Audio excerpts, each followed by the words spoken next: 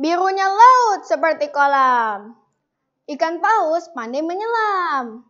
Dari lubuk hati yang paling dalam, saya buka pidato ini dengan salam. Assalamualaikum warahmatullahi wabarakatuh. Aki-aki diselengkat pocong. Sekali lagi dong. Assalamualaikum warahmatullahi wabarakatuh. Yang terhormat Bapak Ibu Dewan Juri, yang terhormat Bapak Ibu guru sekalian, serta teman-teman yang dirahmati Allah Subhanahu wa taala. Pertama, Marilah kita bersyukur kepada Allah Subhanahu wa taala atas segala nikmat, mulai dari nikmat iman, nikmat Islam, nikmat sehat.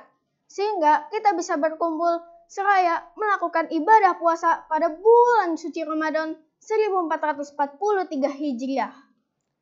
Salawat dan salam tak lupa kita kirimkan kepada Nabi Allah Khatamul Anbiya Muhammad sallallahu alaihi wasallam. Semoga dengan seringnya bersolawat, kita semua diberikan pertolongan oleh beliau pada hari akhir nanti. Amin. Allahumma amin. Hadirin wal hadirat rahimakumullah. Pada kesempatan ini, saya Kenzi, sang calon ustadz dari SD Alam Pertiwi, akan menyampaikan ceramah singkat tentang ahlakul karimah atau ahlak yang mulia. Tapi, nyanyi dulu ya. Teman-teman pada ikutan ya. Ramadan tiba, Ramadan tiba, Ramadan tiba, marhaban ya Ramadan, marhaban ya Ramadan, marhaban ya Ramadan, marhaban ya Ramadan, marhaban ya Ramadan. Bulan Ramadan adalah bulan yang mulia. Ini adalah momentum yang tepat untuk memperbaiki diri, memperbaiki akhlak kita, memiliki ahlakul karimah atau ahlak yang baik seperti yang dicontohkan oleh Rasulullah Shallallahu Alaihi Wasallam. Agama Islam telah mengajarkan setiap muslim untuk memiliki ahlakul karimah yang diterapkan dalam kehidupan sehari-hari. Karena tanpa adanya ahlak, maka manusia hanya akan membawa kerusakan bagi sekitarnya. By the way nih, Kalian tahu nggak apa itu ahlakul karimah atau ahlak yang mulia? Ahlakul karimah adalah ahlak atau perilaku terpuji yang dicontohkan oleh Rasulullah Shallallahu Alaihi Wasallam, sebagaimana dijelaskan dalam Al-Quran surat Al-Qalam ayat 4 yang berbunyi A'udzu billahi minasyaitonir rajim Bismillahirrahmanirrahim. Wa innaka la'ala khuluqin azim. Yang artinya, sesungguhnya engkau Muhammad berada di atas budi pekerti yang agung. Sedangkan secara bahasa alak itu artinya tabiat, yaitu kebiasaan atau perangai. Rasulullah Shallallahu Alaihi Wasallam adalah sebaik-baiknya suri tauladan kita. Dan kita semua sebagai umatnya sudah seharusnya mengikuti ajarannya. Teman-teman, mari kita perbaiki amal ibadah kita. Dimulai dengan memperbaiki akhlak kita sendiri.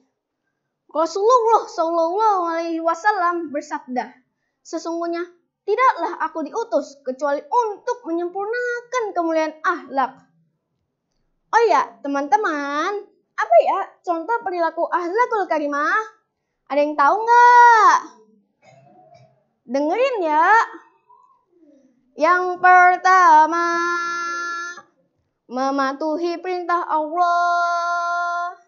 Yang kedua, orang tua disayangi. Yang ketiga, santun dalam berbicara. Yang keempat, pemaaf dan juga ikhlas. Yang kelima, amanah dan tepat janji. Yang keenam, bersyukur dan bertawakal. Kira-kira begitu ya teman-teman. Hadirin wal hadirat rahimakumullah. Kita sebagai pelajar, mari kita perbaiki akhlak kita menjadi akhlakul karimah. Karena pendidikan yang baik harus dibarengi dengan akhlak yang baik. Dan juga akhlak yang baik adalah tiang kesuksesan dan kekokohan jiwa kita. Teman-teman, mari kita menjadi generasi zaman now yang cerdas dan berakhlakul karimah. Semoga Allah Subhanahu wa taala memudahkan setiap usaha baik kita. Amin. Allahumma amin. Demikianlah ceramah singkat dari saya pada kesempatan hari ini. Mohon maaf atas segala hilaf dan salah. Saya Ari dengan pantun ya. Ada itik, jalannya gemulai. Eh, tiba-tiba disergap oleh buaya rawa. Berpuasa janganlah letih dan lunglai. Mari kita bersemangat meraih takwa. Wabillahi taufik wal hidayah. Wassalamualaikum warahmatullahi wabarakatuh.